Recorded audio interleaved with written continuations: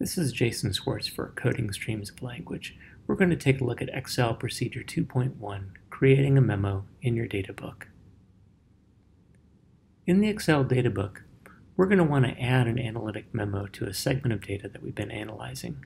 Here we're going to select that segment in the data book, decide what it is that we want to say about the code, then go to the Insert menu and select New Comment. In the comment field that appears, we can type in the memo that captures the thought as we are having it. And once you have that written down, resize the field so that you can see, then mouse off, and what's left over is the red triangle that if you mouse over it, you'll see your code appear.